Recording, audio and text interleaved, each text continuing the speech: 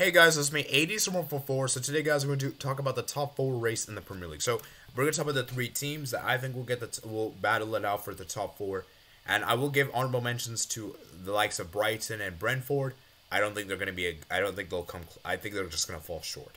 These are the three teams that will likely get. One of these three teams will get top four, in my personal opinion. So we're going to go ahead and start with the first team, which we have here is Newcastle.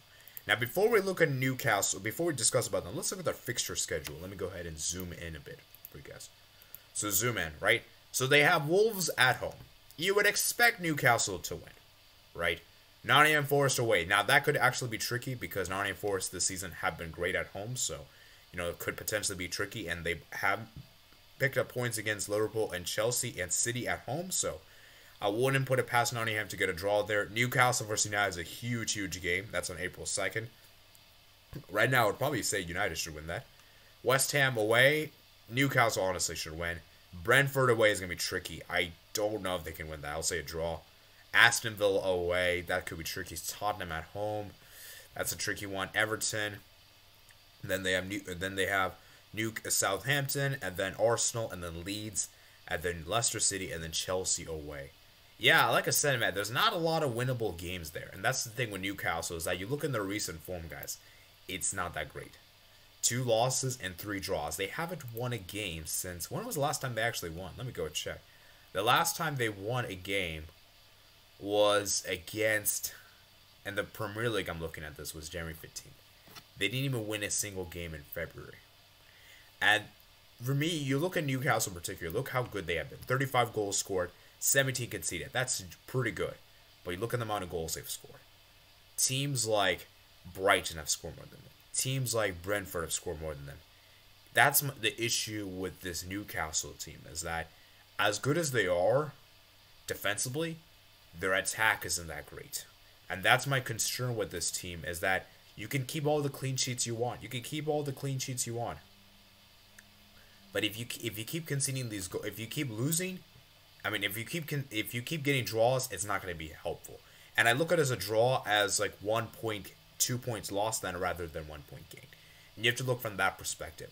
And you look at other teams around them in the area, the likes of Liverpool, Fulham, Brighton are in the pecking order.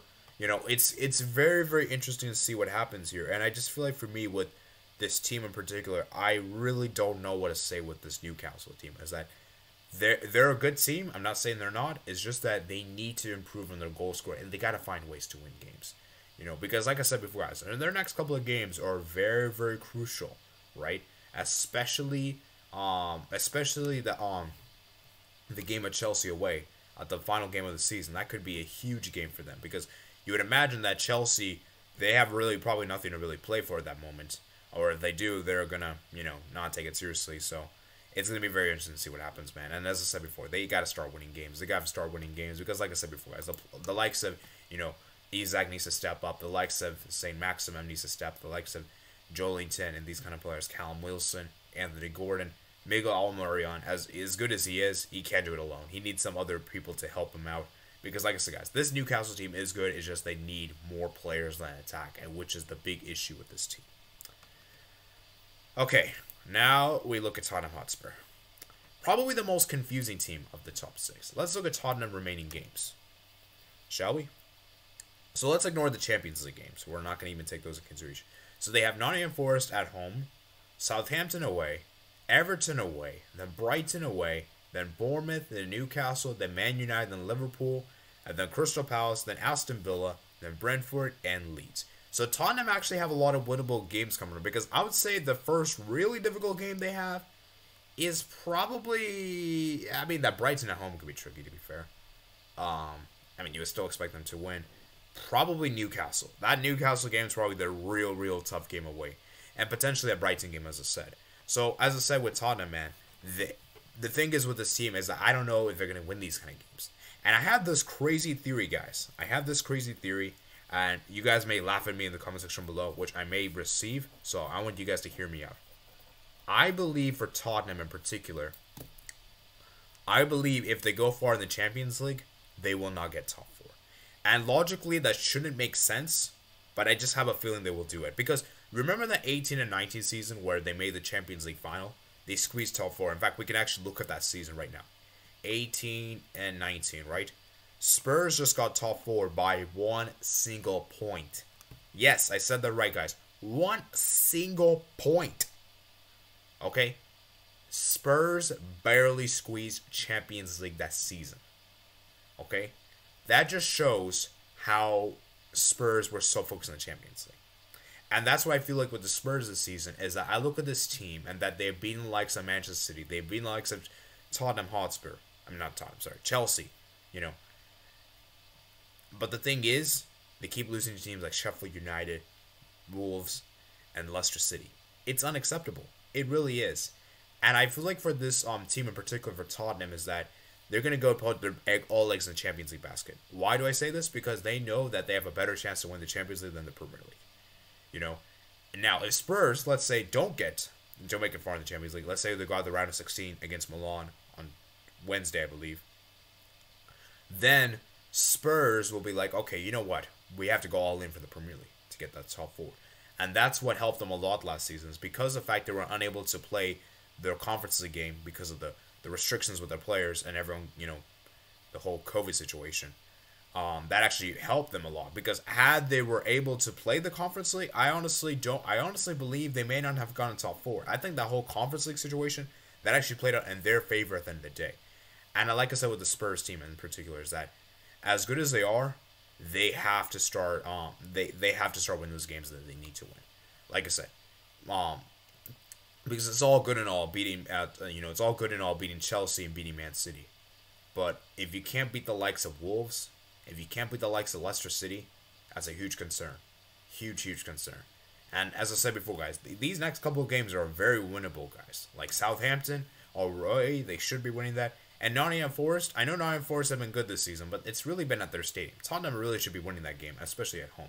You know, then Everton, you know, and like I said with Tottenham, man, it's just you just don't know what to get with this team. You just don't know what to get this with this team, and it's such an unpredictable team. It's such an unpredictable team, and but the crazy thing is, they still can get top four because right now you look at the game, you look at their form, right? Um, this season. Let's look at this season. Sorry. Right now, right? Tottenham is at 46 goals scored, 36 goals conceded. Look how many losses. Nine losses. They've actually lost lost most games. Uh, they've losing a lot of games. They've lost more games than Liverpool. They've lost more games than Fulham. They've lost more games than Brighton, which is crazy. Um, even Brentford as well. You know that is interesting. But you look at the amount of wins they're making. 14 wins, man. That is very very important to note here, and that I think is very very interesting for uh, Tottenham in particular. Is that they keep getting those wins, they keep getting those um, those W's, and that's going to be very very important. So like I said with Tottenham, man, can they still remain in that top four consideration? We're gonna have to see. Although they have played two more games more than Newcastle, that should be worth noting. Now, it's time to talk about Liverpool. Liverpool, guys. Liverpool for me is very interesting. Very, very interesting here. Okay. Liverpool for me, because I'm going to say this right now, guys. Liverpool have been the worst of these three teams in particular, just this season alone. But the we- worry weird thing is that Liverpool, for me, as bad as they have been, they still they can still grind out those results. Right? Let's look at their upcoming games for Liverpool. They have Bournemouth. Well, first they have the Man United game, which you know, as the time recording this video, this is before the Man United game. So let's see what happens that game tomorrow right? Then they have Bournemouth away. They should be winning that game.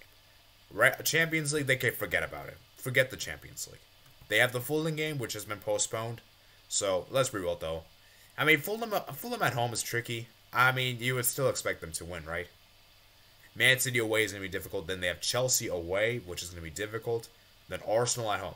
These three games are very difficult for Liverpool. But afterwards, they got Leeds away, Nottingham Forest, West Ham, the Spurs, then Brentford, then Leicester, then Aston Villa, then Southampton.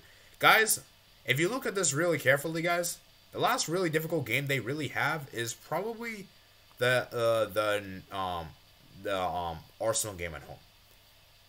Every game afterwards, you would expect them to probably win. Okay, maybe Brentford at home could be tricky, and potentially Spurs maybe, but most of those games are very winnable for Liverpool. And I think Liverpool is in a much better position than Spurs is that they don't really have the Champions League to worry about because they already are pretty much out. You know, like five two, it's it's done, right? So for Liverpool, they can put all their eggs in the Premier League basket. And the thing with this Liverpool team is that I look at this team is that they don't have to play well to win. They can still grind out those results. In fact, you look at the game, for example, let's look at one of these stats. Let's look at the um the game against um Everton in particular, man. Liverpool 2, Everton nil. Right? Like 60% possession, 40%. 15 shots, 6 on target. You know, it wasn't even that good of a win, but they managed to get the win. Maybe that's not a good example. Let's look at the game against Newcastle. I think that's a better game to look at. Newcastle. Look at this right here, guys. Liverpool didn't even score a goal, even after having a player sent off. You know, even after um, Nick Pope got sent off. That just shows how Liverpool, for me, they can grind out those results even when they're not playing particularly well. And look at the game against Crystal Palace. They were terrible in that game. They were terrible in that game. Their midfield has been bad. But they managed to get a point. They were not great in that game. They managed to get a point. You know, and that's the important thing with this Liverpool team is that they know how to grind out the results even not at their best. And that's why for me I believe Liverpool is my favorite. I think Liverpool is a team that I believe will get top 4 simply because as I said, they really don't have that many they really really can just get those wins. And I look at Liverpool this season at Anfield, they just have been great. And I look at this team in particular. Remember a few seasons ago, everyone was thinking Liverpool wouldn't get top four. Liverpool wouldn't. They had so many injuries. They got top four. They beat Manchester United. They even had Alisson score a late goal to put them in this position. And I just feel like for me, Liverpool barely squeezed Champions League qualifications. So it's going to be very fascinating to see what happens, guys. And I'm really, really interested to see what happens. Because, like I said before, guys, you look at Liverpool in particular, man. 39 points, 24 games, two games on hand with Spurs. They could potentially go level with Spurs and they and they have a superior goal difference, so they'll go ahead of Spurs. So I want to know what you guys think in the comment section below, guys. Which team is going to get a top four? Because it's a really really interesting battle, and um yeah, it's going to be very interesting, guys, to see what happens. So I hope you guys did enjoy this video. Let me know what you guys think in the comment section below. If you guys are new on here, consider hitting that subscribe button, like this video, enjoy. Comment below your thoughts, comment section below, and I'll see you guys later. Peace out.